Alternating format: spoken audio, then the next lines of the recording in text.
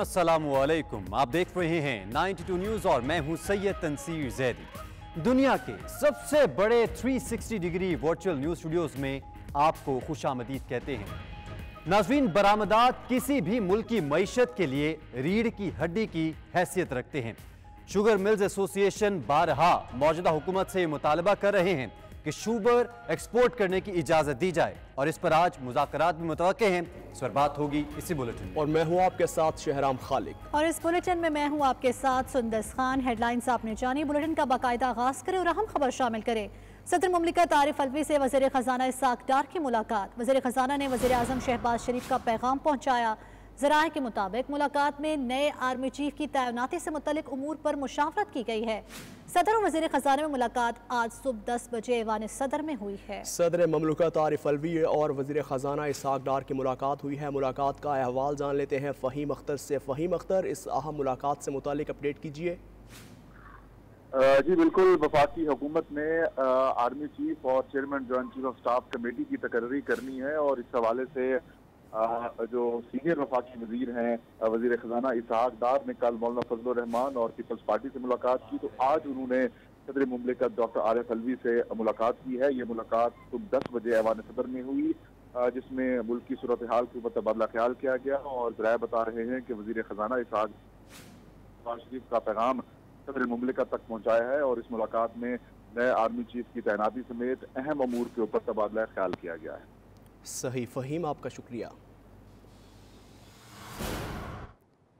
नाजरीन, supreme court में इमरान खान के खिलाफ तोहन अदालत केस की समात हुई। चीफ जस्टिस उमरता मंदयाल ने रिमार्क्स दिए, मुकदमे के कुछ हकाइक हैं। अदालत, तोहन अदालत के अख्तियार के इस्तेमाल में मोहतात है। सुप्रीम कोर्ट इस बारे में भी मोहतात है कि हमारे अहकाम की खिलाफ वर्जी न हो। मजीद जानते हैं, इस्लामाबाद से हमारे नुमाइंदे इमरान वसीम हमारे मौजूद हैं। इमरान बताएगा, इस समात के दौरान अदालत की जानब से मजीद क्या रिमार्क्स दिए गए? जी, आज की अदालती कार्रवाई जो है वो आइंदा हफ़्ते तक लाजर बैंक की जानब से मुलतवी कर दी गई है और आज की अदालती कार्रवाई में जो जबानी ऑब्जर्वेशन चीफ जस्टिस की सामने आई है, जिसमें additional attorney general Aamir Rehman ने अदालत से ये प्ले की कि इमरान खान लॉन्ग मार्च लेके इस्लामाबाद की जानब आ रहे हैं तो उन्हें कानून को फॉलो करने का पाबंद बनाया जाए। तो चीफ जस्टिस ने कहा कि हम ऐसे कोई डायरेक्शन तो जारी नहीं कर सकते, गुजशत समाज पे भी एक ऑर्डर पास हुआ था, उस पर हमारे पाँच रुकनी बेंच के एक जज ने इख्तलाफ किया था तो हम ऐसा कोई ऑर्डर जबान अपना रिटर्न में तो जारी नहीं कर सकते। अलबत्त ये ज़रूर कर लेते हैं कि इमरान खान साहब के जो वकील हैं सलमान अक्रम राजा, उन्हें ये कह देते हैं कि वो अपने क्लाइंट से कहते हैं कि लॉन्ग मार्च के दौरान वो कानून को फॉलो करें कॉन्स्टिट्यूशन को फॉलो करें। तो सलमान अक्रम राजा ने कहा कि इस मामले के ऊपर उनके पास इमरान खान की कोई हदायत नहीं है, जिस पर चीफ जस्टिस ने उनसे मुकालमा करते होगा कि क्या आप ये एक्सपेक्ट करते हैं कि आपके जो क्लाइंट हैं वो आइन और कानून को फॉलो नहीं करेंगे? तो सलमान अक्रम राजा ने कहा कि बिल्कुल ऐसा नहीं है। इमरान खान आइन और कानून को फॉलो करेंगे। आज की अदालती कार्रवाई में जो इमरान खान, बाबर अवान और फैसल चौधरी ने जवाब सुप्रीम कोर्ट में जमा करवाया था, उस पर जवाब और जवाब के लिए वजारत दाखिला को जो है वो इजाज़त दे दी है कि अगर वो मुनासिब समझती है तो इसके जवाब के ऊपर अपना रिस्पॉन्स दे सकते हैं। और जो वजारत दाखिला की जानब से गुजशत रोज एक मुतफरक दरखास्त के साथ इजाफी डॉक्यूमेंट्स अदालत उजमा में जमा करवाए गए थे, उस पर इमरान खान बाबर अवान और फैसल चौधरी को मौका दे दिया गया है कि वो अपना रिस्पॉन्स इसके ऊपर जो है वो अगर मुनासिब समझें तो वो अदालत में जमा करवा सकते हैं। जी इमरान वसीम समात का हवाल बता रहे थे आपका बहुत शुक्रिया। और ख़बर यह भी है कि सिंध हाई कोर्ट ने कराची और हैदराबाद में बलदयाती इलेक्शन कराने का हुक्म दे दिया है। तहरीक इंसाफ के रहनुमा फिरदोस शमीम नकवी कहते हैं फैसले से मायूस हैं। चार हफ्तों की तारीख देने की तो नहीं कर रहे थे। कराची से अरशद बेग की रिपोर्ट देखिए।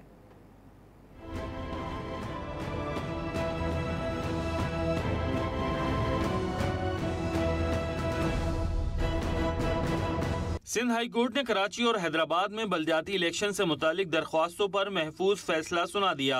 Chief justice Sindh high court की सरबराही में दो रुकनी बेंच ने बलदियाती इलेक्शन कराने का हुक्म दे दिया। फैसले में कहा गया कि इलेक्शन कमीशन शेड्यूल का ऐलान करे। अदालत ने मुख्तसर फैसला सुनाया है। मुकम्मल तहरीरी फैसला बाद में जारी किया जाएगा। अदालत ने chief secretary Sindh I G Sindh और सिंध हुकूमत को सिक्योरिटी फराहम करने की हिदायत कर दी। तहरीक इंसाफ ने फैसले आरोप मायूसी का इजहार किया। कहा कि चार हफ्तों की तारीख देने की तो नहीं कर रहे थे। उन्होंने इन चार हफ्तों का टाइम दिया। अगर टाइम कम होता तो वो ज़्यादा बेहतर होता। हम बिल्कुल तैयार हैं। अगर चीफ जस्टिस साहब अगर एक हफ़्ते का भी टाइम देते तो इन दोनों सियासी जमातों को एक तारीखी शिकस्त जो है वो पाकिस्तान तहरीक इंसाफ देती है। तहरीक इंसाफ के रहनुमाओं ने खदशा ज़ाहिर किया है कि सिंध हुकूमत और उसके इतिहादी फिर ताखीरी हरबे इस्तेमाल करेंगे। अरशद बेग 92 न्यूज़ कराची। अमीर जमात इस्लामी कराची हाफिज नईमुर रहमान का कहना है चाहते हैं बल्दियाती इलेक्शन और मसाइल हल हों। अदालत में एक तरफ़ जमात इस्लामी और दूसरी जानब सारी जमातें थीं। इलेक्शन का हतमी ऐलान होना चाहिए और फरार के सारे रास्ते बंद होने चाहिए। नाजायज़ एडमिनिस्ट्रेटर का तकर्र भी फौरी ख़त्म किया जाए। हमने भरपूर तरीके से कराची की नुमाइंदगी की। एक तरफ़ सारी पार्टियाँ थी और एक तरफ़ जमात इस्लामी थी। और जमात इस्लामी ने वो दलाइल पेश किए हैं जिसके नतीजे में आज हाई कोर्ट का भी फैसला सामने आया है और इंशाल्लाह 22 तारीख को एक हतमी तारीख भी होगी। मैं ये मुतालबा करता हूँ इलेक्शन कमीशन से भी। सुप्रीम कोर्ट का फैसला भी इस सिलसिले में मौजूद है। तो अब हतमी ऐलान होना चाहिए और फरार के सारे रास्ते बंद करने चाहिए। एम क्यू एम की महबूब तरीन पार्टी, पीपल्स पार्टी और पीपल्स पार्टी की महबूब तरीन पार्टी एम क्यू एम इन दोनों को जब अपनी शिकस्त नज़र आ गई है तो ये चाहते हैं कि बैर के आने से पहले पहले जितने फंड्स हैं, उन फंड्स को कंज्यूम कर लिया जाए, उसमें लूट मार करके अगले इलेक्शन की तैयारी की जाए। और इमरान खान पर हमले का खदशा। इंटेलिजेंस इदारों ने इस्लामाबाद हाई कोर्ट में रिपोर्ट पेश कर दी। चीफ जस्टिस आमिर फारूक ने रिमार्क्स दिए कि रिपोर्ट्स के मुताबिक इमरान खान पर हमले के खदशात हैं। हुकूमत और रियासत की ज़िम्मेदारी है कि वो इस चीज़ को भी मद्देनजर रखे। एहतजाज करना सियासी और गैर सियासी जमातों का हक है। शहरीों और ताजरों के हकूक मुतासर नहीं होने चाहिए। इस्लामाबाद से रिपोर्ट देखिए।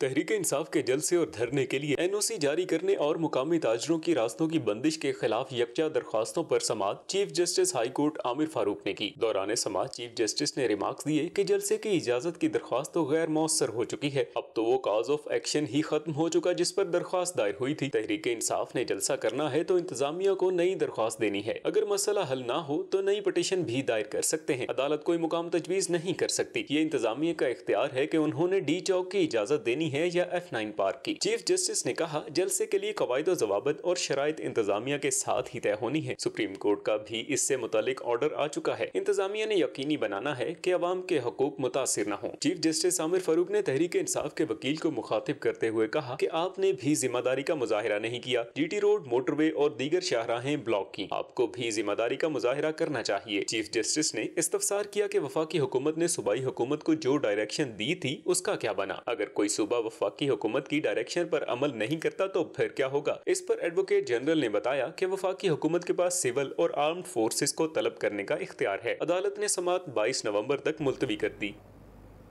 और अब बात करेंगे तहरीक इंसाफ की हकीकी आज़ादी मार्च की। पाकिस्तान तहरीक इंसाफ का हकीकी आज़ादी मार्च आज चकवाल में अपना रंग जमाएगा मार्च कलर कहार से होता हुआ चार बजे चकवाल पहुंचेगा। हकीकी आज़ादी मार्च की तैयारियों बारे जान लेते हैं रियाज अंजुम से। रियाज बताइएगा कैसी तैयारियाँ हैं? जी बिल्कुल। पाकिस्तान तहरीक इंसाफ का हकीकी आज़ादी मार्च आ, असद उमर की क्यादत में आज चकवाल में पड़ाव करेगा। कलर कार से आ, इस मार्च का आगाज़ किया जाएगा जो कि बलकसर इंटरचेंज दुल्ला इंटरचेंज से होता हुआ आ, चकवाल में पहुंचेगा जहाँ पर चेयरमैन तहरीक इंसाफ इमरान खान एक बहुत बड़े जलसा से वीडियो लिंक के ज़रिए खिताब करेंगे और इस मार्च को सिक्योरिटी फुल प्रूफ इंतज़ाम के ज़रिए चकवाल पहुँचाया जाएगा। कारकुनों में बहुत जोश व खरोश पाया जा रहा है। सुबह से ही कारकुन पूरी तरह मुतहरक हैं और चकवाल में इमरान खान के हवाले से नारे भी लगाए जा रहे हैं और तराने भी बजाए जा रहे हैं। जी। रियाज, आपका शुक्रिया। और नाजरीन पी टी आई रहनुमा असद उमर ने कहा है कि पाकिस्तान इस वक्त दोराहे पर खड़ा है। गरीब के लिए मुल्क में कोई कानून और इंसाफ नहीं। आवाम का खलूस देख कर इन्होंने इमरान खान के कत्ल का मनसूबा बनाया। कप्तान गोलियाँ खाने के बावजूद खड़ा है और खड़ा रहेगा। पुलिस फौरी रास्ते खोले आवाम को ना रोका जाए। हम आवाम में से हैं, इन्हें हमारे पास आने दिया जाए। चकवाल, बहादुर शहीद और गाजियों का शहर है। और वजी अला पंजाब चौधरी परवेज इलाही से M P A Hafiz Ammar Yasir ने मुलाकात की है। मुलाकात में मुस्लिम लीग काफ के मकामी रहनुमा अरशद शेख भी शरीक हुए। चौधरी परवेज इलाही का कहना है कि तलागंग के आवाम की महरूमियाँ दूर करने के लिए तमाम मुमकिन इकदाम करेंगे। अल्लाह ताला ने मौका दिया तो तलागंग और चकवाल को डिवीज़न बनाने पर भी काम करेंगे। तलागंग में इंडस्ट्रियल स्टेट के क्याम का वादा भी पूरा किया जाएगा। हाफिज अमार यासर ने तलागंग में मेडिकल कॉलेज को चौधरी परवेज इलाही मेडिकल कॉलेज का नाम देने की तजवीज़ दी है। हाफिज अमार यासर ने कहा कि चौधरी परवेज इलाही तलागंग के मोहसिन हैं, आवाम इन्हें चाहते हैं। और अदालती कार्रवाई की बात की जाए तो इस्लामाबाद हाई कोर्ट में पब्लिक अकाउंट्स कमेटी की जस्टिस रिटायर्ड जावेद इकबाल को लापता अफराद कमीशन के चेयरमैन के अहदे से हटाने की सिफारिश के खिलाफ दरख्वास्त। अदालत ने जावेद इकबाल को लापता अफराद कमीशन के चेयरमैन के अहदे से हटाने से रोकने के हुक्म में सोलह दिसंबर तक तोसी कर दी है। आपको बताएँ, इस्लामाबाद हाई कोर्ट में पब्लिक अकाउंट्स कमेटी के जस्टिस रिटायर्ड जावेद इकबाल को लापता अफराद कमीशन के चेयरमैन के अहदे से हटाने की सिफारिश के खिलाफ दरख्वास्त की गई है। और अब कुछ बात करेंगे महँगाई के हवाले से। चिनियोज में आए रोज सब्जियों और फलों की बढ़ती कीमतों से शहरी परेशानी में मुबतला है। मजीद तफसलात जानते अपने नुमाइंदा कलीमुल्ला बलोच से। कलीम बताएगा, सब्ज़ियाँ और फल किस दाम में दस्तियाब है और कीमतों को कंट्रोल क्यों नहीं किया जा रहा?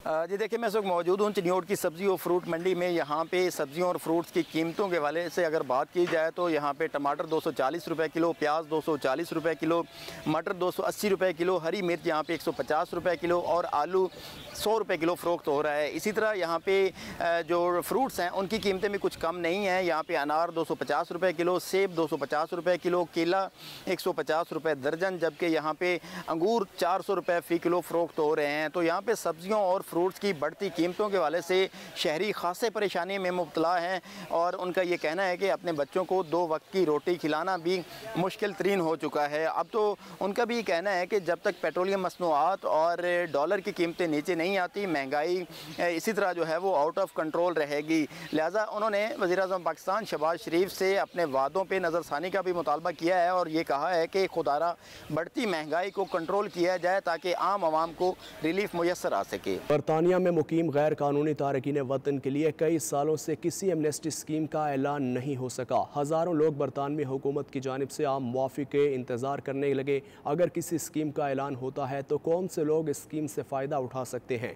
इस इशू के हवाले से ब्यूरो चीफ यू के गुलाम हुसैन आवान ने माहिर इमिग्रेशन कवानीन सोलिसटर मोहम्मद मजीद से खसूस बातचीत की है। आइए देखते हैं। यहाँ पे बहुत सारी अपॉर्चुनिटीज़ हैं लोगों के पास कि वो यहाँ पे आते हैं, उनको जॉब्स मिलती है फाइनेंस के हिसाब से उनके मामला ठीक होते हैं।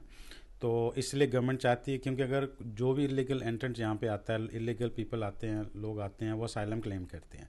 असाइलम क्लेम करने के लिए उनको ऑफ़ कोर्स अपनी जो फोर्स है, जो केस वर्किंग है, वो बढ़ानी पड़ती है। उसकी वजह से उनके एक्सपेंस बढ़ते हैं। इसी वजह से उन्होंने एक माहा किया रवांडा के लिए कि जितने इलीगल लोग आएँगे असाइलम क्लेम करने के लिए तो वो उनको रवांडा भेजेंगे। तो बेसिकली गवर्नमेंट क्या चाह रही है कि अपनी जो कॉस्ट अफेक्टिंग है, उसको बेहतर करे और जो केस वर्किंग रिवांडा में जैसे हो रहा है कि वो बाहर करे। इसी तरह उन्होंने अभी कॉन्ट एक एग्रीमेंट किया है उनके साथ फ्रांस के साथ, जो कि पहले भी चल रहा था। अभी उन्होंने किया कि एट बिलियन हम खर्च करेंगे। प्लस बहुत सारे पेट्रोलिंग ऑफिसर्स है वो वो बढ़ाएँगे कश्तियाँ ख़रीदेंगे ड्रोन्स के की मदद से वो इन लोगों को डिटेक्ट करेंगे ताकि लोग कम से कम एंटर हों और इस गवर्नमेंट या इस मुल्क के ऊपर कम से कम जो है ना वो उनका बोझ हो। ये मैं पूछना चाह रहा था कि इतनी बड़ी तादाद के अंदर जब इलीगल इमिग्रेंट्स बरतानिया के अंदर आते हैं जो ऑलरेडी एग्जिस्टिंग केसेस हैं उनके ऊपर भी असर पड़ता है। बहुत सारे केसेस बैकलॉग का शिकार हैं। और ये बताएँ इसकी क्या, ये वजह? है ये भी वजह है, लेकिन ज़ाहिर है गवर्नमेंट अपने फाइनेंस को सब कुछ देख रही है। अब देखें ना केस वर्किंग जो असाइलम क्लेम पे हो रही है, वो ईयर्स लगते हैं बेसिकली एक छः महीने, साल की बात नहीं है। मैं अब आपको एक छोटी सी एग्जांपल देता हूँ, जो नॉर्मल एप्लीकेशन हम यूके में करते हैं, वो छः महीने का टाइम था होम ऑफ़िस का प्रोसेसिंग का। वो अब ग्यारह महीने हो। जो लोग यूक्रेन से आ रहे हैं, उन्होंने असाइलम क्लेम किया है या उनकी एप्लीकेशन उनको वो प्रायोरिटी दे रहे हैं। जो लोग यहाँ से एप्लीकेशन कर रहे हैं, उनको उन्होंने पीछे रखा हुआ छः महीने से ग्यारह ग्यारह पे चला गया। जो एप्लीकेशन बाहर एंट्री क्लियरेंस के लिए ट्वेल्व वीक में होती थी, वो अब ट्वेंटी फोर वीक पे चली गई है। तो ये ऑफ़ कोर्स ये इफ़ेक्ट पड़ रहा है इन चीज़ों के ऊपर। अच्छा एक अभी मैं होम सेक्रेटरी का स्टेटमेंट देख रहा था, जो नहीं सवेला ब्रबमैन है। उन्होंने ये कहा कि हम जो इलीगल इमिग्रेंट्स आएँगे हम उनको कोई पोस्ट रेजिडेंस नहीं देंगे क्योंकि वो मिस यूज़ हो रहा है। तो उनको हम बिल्कुल, ये इंसानी हकूक़ की तंजीमें इस पर काफ़ी शोर मचा रही हैं। क्या कह रहे हैं? देखें, पहले भी गवर्नमेंट ज़ाहिर उनके डिटेंशन सेंटर थे, सारा कुछ थे, वहाँ पे लोग रखते थे स्पेशली फैमिलीज़ को, क्योंकि बच्चे सारा कुछ है। लेकिन अभी बहुत सारा ये होता है कि वो होटल्स में भेजते हैं। अब होटल्स अगर आप हमारे लोकल एरिया की यहाँ पे होटल देख रहे हैं, जो तीस पाउंड चालीस पाउंड में आपको पर नाइट पे मिलता है, अब अगर आप वहाँ पे जाएँगे तो आपको क्या फैसिलिटी मिलेगी? कुछ भी नहीं, हो सकता आपको वॉशरूम भी शेयर करना पड़े बेडरूम वो इतनी उसमें है नहीं है कि दो या तीन लोग फैमिली के वहाँ पे सो सकें तो ऑफ़ कोर्स ये अगेंस्ट ह्यूमन राइट्स तो है बेसिकली अच्छा दूसरा ये है कि नए इमिग्रेंट्स इलीगल जो इमिग्रेंट्स आ रहे हैं, उनको रोकने के लिए इकदाम हो रहे हैं। लेकिन हम ये देख रहे हैं जो बरतानिया के अंदर ऐसे लोग हैं जिनके वीज़े रिफ्यूज़ हो चुके हैं, किसी ना किसी वजह से कोई ओवर स्टेयर्स हो चुके हैं। उनके लिए गवर्नमेंट अभी तक कोई ऐसी प्रॉपर स्कीम अनाउंस नहीं कर रही और बहुत सारे लोगों की उम्मीदें भी हैं। क्या कोई ऐसा मैसेज है उन लोगों के लिए? देखिए, मैं उन लोगों को यही मैसेज दूँगा कि प्लीज़ आप कोई ना कोई एप्लीकेशन अपनी होम ऑफ़िस में रखें। ये ना हो कि आप 20 साल तो यहाँ पे गुजार लें, एप्लीकेशन डालें बाद में आपके पास कोई ऐसी एविडेंस ना हो जिसकी वजह से होम ऑफ़िस आपको रिफ्यूज़ कर दे। या कोई एमनेस्टी आ जाती है फॉर एग्जांपल तो आपकी एप्लीकेशन अगर पेंडिंग होगी होम ऑफ़िस के रिकॉर्ड में आप होंगे और आपने ऑलरेडी कुछ ना कुछ क्लेम किया होगा तो वो आपके लिए ज़्यादा बेहतर है एज़ कंपेयर टू आप घर बैठे रहेंगे कुछ नहीं कुछ नहीं करेंगे। इसके लिए आप कह रहे हैं कि कोई ना कोई एप्लीकेशन कोई ना कोई क्लेम होम ऑफ़िस के अंदर होना चाहिए। बिल्कुल होना चाहिए और मैं सबको सजेस्ट करूँगा जो लोग इस तरह घर बैठे हुए कि किसी माहिर कानून के पास जाएँ किसी सोलिसर के पास जाएँ ताकि वो आपके डॉक्यूमेंट्स को देख के सारा कुछ करके आपको एडवाइस करे कि आपकी कौन सी एप्लीकेशन अच्छा, बनती है। बताइए बड़ी अच्छी लेकिन कहते हैं जी यहाँ पे जो यूके में वकील है वो फीसें बहुत लेते हैं। कोई ऐसा भी होता है कि अगर कोई डिजर्विंग बंदा है तो उससे फ़ीस ना ली जाए या उसको इस ऐसा भी जी बिल्कुल बिल्कुल हम लोग करते हैं और हम हमारा एक बेसिकली हमारी स्कीम चलाते हैं हम लोग के प्रोबनो बेसिस के ऊपर काम करें। मैं बेसिकली खुद प्रोबनो बेसिस पे काम करता हूँ। बहुत सारे केसेस अच्छा, में। अगर कोई फ़ीस नहीं दे सकता तो आप उसकी वेलकम मोस्ट वेलकम और हम उसमें हम सिचुएशन ये भी देखते हैं कि अगर उनके पास फ़ीस नहीं है हमें देने के लिए फ़ाइन लेकिन हम होम ऑफ़िस को भी कह सकते हैं उनके फ़ी वेवर के लिए हम एप्लीकेशन करते हैं और होम ऑफ़िस भी इस चीज़ को कंसिडर करता है। बहुत सारी एप्लीकेशन हमारी एक्सेप्ट हुई हैं कि लोगों के ना कि सिर्फ़ होम ऑफ़िस की फ़ीस बल्कि उनके जो I H S immigration health charges हैं वो भी हैं। और उस चीज़ को कंसिडर करते हुए जब उनकी एप्लीकेशन अप्रूव हो जाती है तो होम ऑफ़िस उनको जो बेनिफिट्स क्लेम है ना उसके ऊपर भी अप्रूवल दे देता है। मुझे एक और सवाल याद आ गया कि जो हेल्थ चार्जेस हैं वो सुना है कि जो हेल्थ से रिलेटेड जो वीज़ा है उसके ऊपर बिल्कुल वेव ऑफ़ किए गवर्नमेंट ने? जी बिल्कुल किए हैं इसके ऊपर गवर्नमेंट ने किए हैं। और अच्छी अच्छी एक एफर्ट है गवर्नमेंट की तरफ़ से कि जो इस तरह के वीज़े हैं या जो भी जहाँ पे भी गवर्नमेंट को लगता है कि आप हम आपको एक कोई अपॉर्चुनिटी दे सकते हैं या कोई रिलीफ दे सकते हैं तो वो देते हैं। बहुत शुक्रिया आपका। Thank you thank you thank you मशहूर पाकिस्तानी नौजवान कवाल जैन और जुहेब पहली बार यूके में अपनी आवाज़ का जादू जगाएँगे। वो मुख्तलिफ़ बरतानवी शहरों में शोज़ मुनद करेंगे, जिनमें ओवरसीज़ पाकिस्तानियों को भरपूर तफरी फराहम करेंगे। सलाओ के मकामी रेस्टोरेंट में प्रेस कॉन्फ्रेंस के दौरान जैन और जुहेब ने कहा कि उनकी परफॉर्मेंस में इस बार शायकीन को नया रंग देखने को मिलेगा। तफसीत ब्यूरो चीफ यू के गुलाम हुसैन आवान की इस रिपोर्ट में देखिए। ਸਾਨੂੰ ਆਸਰਾ ਹਸਨ ਹੁਸੈਨ ਦਾਏ, ਸਾਨੂੰ ਆਸਰਾ ਹਸਨ ਹੁਸੈਨ ਦਾਏ ਸਾਡੇ ਸਿਰ ਤੇ। ਅਸੀਂ ਮਸਤ ਮਲੰਗ ਕਲੰਦਰ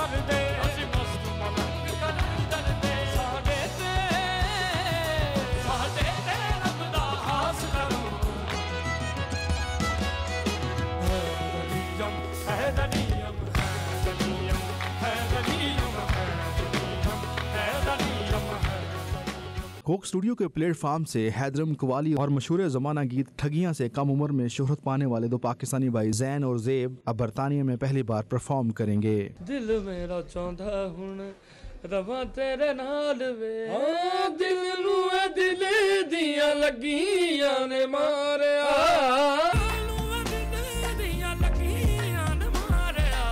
ਸਾਨੂੰ ਛੱਡ ਮਾਇਆ ਤੇਰੀ ਠੱਗੀਆਂ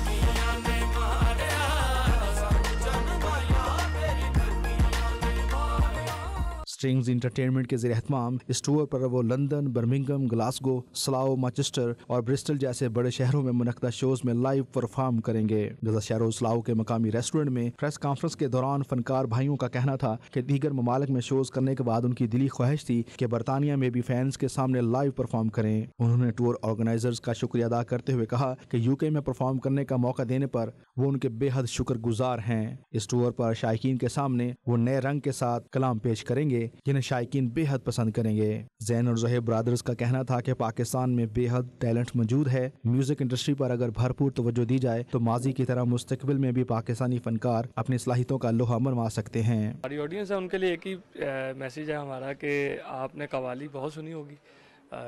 हमसे बहुत बहुत अच्छे काम करने वाले हैं। लेकिन हम अपना कुछ रंग पेश करेंगे आपके सामने।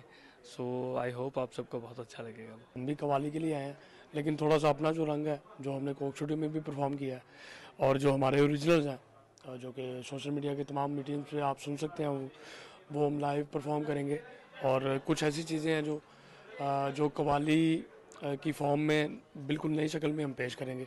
तो वो सबसे जो जो भी हमें सुन सुनने आ रहे हैं उन सब के लिए बड़ी नई चीज़ होगी स्ट्रिंग्स एंटरटेनमेंट के ऑर्गेनाइजर शहान बेनेट और कशान बेनेट का कहना था कि इस टूर को ऑर्गेनाइज करने का मकसद नए टैलेंट को बैन अवी प्लेटफॉर्म मुहैया करने के साथ साथ बरतानिया में पाकिस्तानी कल्चर को भी फ़रोग देना है। पाकिस्तानी म्यूज़िक को पाकिस्तानी कल्चर को प्रमोट करने के लिए हमारे डिफरेंट डिफरेंट शहरों में शोज़ हो रहे हैं लंदन में स्लाओ में ब्रिस्टल बर्मिंगम ग्लासगो ब्रैडफर्ड और बड़ा अच्छा हमें रिस्पॉन्स मिला है।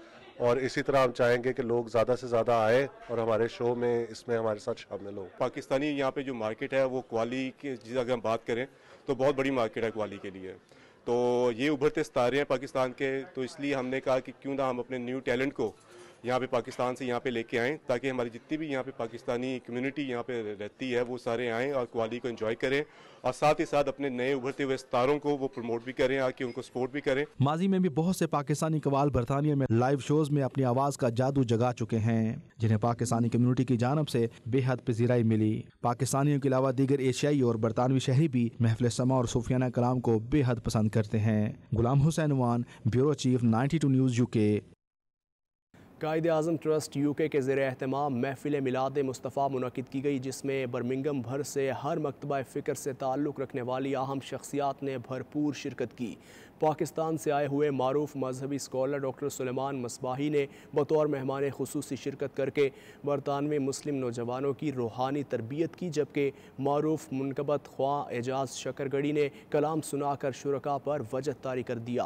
अहवाल बर्मिंगम से आबिद काजमी की इस रिपोर्ट में। एक मैं ही नहीं उन पर कुर्बान जमाना रब दो आलम का महबूब यगाना बर्मिंघम में कायद अजम ट्रस्ट यूके के जेर अहतमाम चेयरमैन कायद अजम ट्रस्ट राजा इश्तिया की रहाशगाह पर एक रूहानी महफिल मिलाद मुस्तफ़ा मुनद हुई, जिसमें बर्मिंघम भर से अहम शख्सियात ने शिरकत की। महफिल मिलाद मुस्तफ़ा में पाकिस्तान से आए हुए मारूफ मजहबी स्कॉलर डॉक्टर सुलेमान मिसबाही ने बतौर मेहमान खसूसी शिरकत की। उन्होंने बरतानवी मुस्लिम नौजवानों की असर हाजिर के चैलेंजेस की रोशनी में रूहानी तरबियत के लिए अहम मसनूआत पर खसूसी गुफ्तु करते हुए कहा कि आपका किरदार इतना बुलंद होना चाहिए कि गैर मुस्लिम देख कर मुसलमान होने पर फख्र करें। इनका किरदार कुरान के मुताबिक नहीं है। इनके मामला कुरान के मुताबिक नहीं है। इनका तोल कुरान के मुताबिक नहीं है। इनकी रिश्तेदारियाँ कुरान के मुताबिक नहीं है। इनके ताल्लुकात कुरान के मुताबिक नहीं है।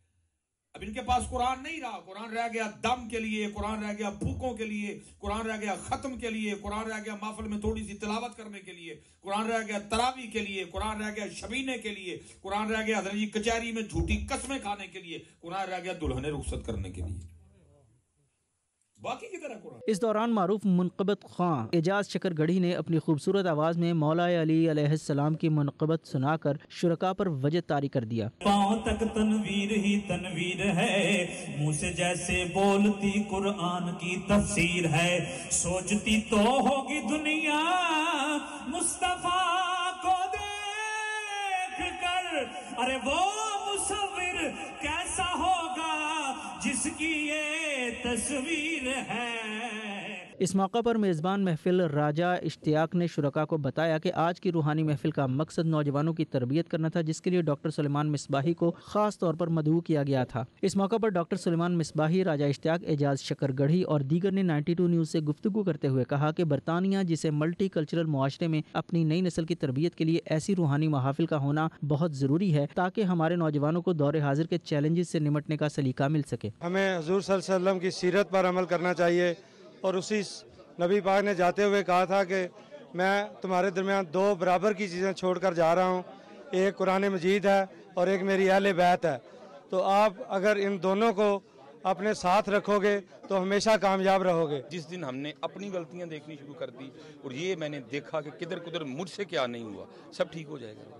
अभी हज़रत हम गलतियाँ निकालने के मूड में अभी हम करने के मूड में नहीं जिस दिन हम करने के मूड में आगे उस दिन छा जाएँगे इंशाल्लाह। हम मुतफिक के सबके साथ के पाकिस्तान को हमने ऑन करना है। पाकिस्तान के लिए काम करना है पाकिस्तानियत के लिए काम करना और नौजवान नस्ल को तालीम देकर इसको आगे लेकर जाना है और पाकिस्तानीयत इनके अंदर भरनी है। पाकिस्तान जिंदाबाद। मैं आज ख़ास तौर पर शुक्रिया अदा करना चाहूँगा इंग्लैंड में बर्मिंगम शहर में जनाब बहुत मरूफ शख्सियत पैकरी खलास मोहब्बत। जनाब राजा इश्तियाक अहमद साहब के घर इतनी खूबसूरत महफिल मिलाद इस वक्त इंसानियत जो आलमी कर्ब का शिकार है, उसकी नजात जो है वो हजूर करीम के उस हसना पर अमल करने से ही मुमकिन हो सकती है। महफिल में राजा इश्तिया के मरहूम वालिद राजा सजावल और मरहूम भाई राजा इसहाक के इसाल सवाब के लिए दुआ मगफरत के साथ साथ मुल्क की सलामती और उम्मत मुस्लिम की कामयाबी के लिए दुआ की गई। Abid Kazmi ninety two news Birmingham EU Pak friendship federation पुर्तगाल के ज़र अहतमाम पाक फ़ौज के हक में इसकाम पाकिस्तान के नाम से खसूस तकरीब का अहतमाम किया गया जिसमें ओवरसीज़ पाकिस्तानी कम्यूनिटी ने मिली जोश जज्बे के साथ शिरकत की और पाक फ़ौज से भरपूर इजहार यकजहती की। तफसीत के लिए देखते हैं अक्रम बाजवा की यह report. EU Pak friendship federation पुर्तगाल के जेर अहतमाम पाक फौज के हक में इस्तेकाम पाकिस्तान के नाम से खसूसी तकरीब का इनका किया गया, जिसमें पाकिस्तानी कम्यूनिटी ने भरपूर शिरकत की। तकरीब से खिताब करते हुए फेडरेशन के सदर सैयद कासिम शाह का कहना था कि आज हम सबका ये मुश्तर प्रोग्राम है, क्योंकि पाकिस्तानी फौज पूरी कौम की फौज है। पाकिस्तान हमारी पहचान और हमारी फौज हमारा मान है। अगर फौज है तो पाकिस्तान है। जो लोग आज फौज पर तनकीद करते हैं, उन्हें कहता हूँ की अगर फौज न होती तो खुदा न खास्ता पाकिस्तान भी इराक, शाम या अफ़गानिस्तान बन चुका होता। सैयद कासिम शाह का मजीद कहना था, अगर हमारी सरहदें महफूज हैं तो ये फौज की कुर्बानियों की मरहून मिन्नत है। अपने सियासी मकासद के लिए फौज पर तनकीद करने की भरपूर मजम्मत करते हैं। तकरीब से खिताब करते हुए कश्मीरी रहनुमा डॉक्टर सुहेल जराल, गजनफर जावेद, राजा हसनैन और दीगर ने कहा, आज कौम पाक फौज के साथ खड़ी है। मौजूदा आर्मी चीफ कमर जावेद बाजवा मुल्क की तारीख के सबसे बहादुर और प्रोफेशनल सिपा सलार हैं। पाकिस्तानी कौम अपनी बहादुर फौज और उसके सिपा सलार के खिलाफ बदतमीजी और बदजुमानी को बर्दाश्त नहीं करेगा। तमाम ओवरसीज पाकिस्तानी पाक फौज के साथ खड़े हैं और इनकी कुर्बानियों को इज़्ज़त की निगाह से देखते हैं। इस्तेकाम पाकिस्तान की तकरीब में हाजरी ने खड़े होकर पाक फौज जिंदाबाद और पाकिस्तान जिंदाबाद के नारे लगाकर माहौल गर्मा दिया। तकरीब के अख्ताम पर मुल्क और फौज की सलामती के लिए और तमाम सिक्योरिटी इदारों के शहदा के लिए सैयद इफ्तार गर्देजी ने खसूसी दुआ करवाई। और सऊदी अरब में खेलों के सबसे बड़े इवेंट सऊदी गेम्स के टेबल टेनिस मुकाबलों में गोल्ड मेडल जीतने वाली पाकिस्तानी तालिबा सरोज साजिद को सिफारत खाना पाकिस्तान की जानब से अवार्ड से नवाजा गया। दियार गैर में वतन का नाम रोशन करने वाली सरोज साजिद पाक आर्मी की जानब से टेबल टेनिस के मुकाबलों में हिस्सा ले रही हैं। तफसीत के लिए देखते हैं रियाज से नुमाइंदा नाइन्टी न्यूज़, उमेर अली की ये रिपोर्ट। दुनिया भर में पाकिस्तान का नाम रोशन करने वाली पाकिस्तानी तालबा के एजाज में सफारत खान पाकिस्तान रियाज की जानब से तकरीब पजीर आई। तकरीब में सफ़ीर पाकिस्तान, सफारती अमले और कम्युनिटी की नुमाया शख्सियात ने भरपूर शिरकत की। दारकूमत रियाज में होने वाली पुरवकार तकरीब में सफ़ीर पाकिस्तान अमीर खुरम राठौर ने सरोज साजद को सऊदी गेम्स में गोल्ड मेडल हासिल करने पर मुबारकबाद पेश की। इस मौके पर सफ़ीर पाकिस्तान का कहना था कि पाकिस्तान खेलों के मैदान में अपना नुमाया मुकाम रखता है। सऊदी अरब में भी पाकिस्तानी खिलाड़ियों की एक बड़ी तादाद खेल खेलों में कामयाबी के साथ हिस्सा ले रही है और सऊदी खिलाड़ियों के हमरा अपनी सलाहितों का लोहा मनवा रही है। पाकिस्तानी तालबा सरोज साजिद ने सऊदी गेम्स में गोल्ड मेडल जीत पाकिस्तान का नाम रोशन किया है और हमें उन पर फख्र है। टैलेंट को मद्देनज़र रखते हुए यही दुआ है कि ये मज़ीद तरक्की करे और इसके साथ साथ हम सऊदी हुकूमत के भी शुक्रगुजार हैं कि दे हैव अलाउड कि जो बच्चे यहाँ पे पैदा हुए सऊदी अरब में they can participate in their national games. सफीर Pakistan ने इस मौके पर अपने दस्ते मुबारक से सरोज साजिद को अवार्ड से नवाजा। शानदार पिजराई पर सरोज साजिद का कहना था कि सऊदी गेम्स में कामयाब होने पर उन्हें बेहद हौसला मिला है और अब उनकी नज़रें एशिया कप और ओलंपिक्स पर हैं। उन्होंने मजीद कहा कि वो पाकिस्तान आर्मी की जानब से टेबल टेनिस में हिस्सा ले रही हैं और आलमी मुकाबलों में भरपूर तैयारी के साथ शिरकत करेंगी। यहाँ पे बहुत ऑनर के साथ मुझे बहुत यहाँ पे बुलाया है।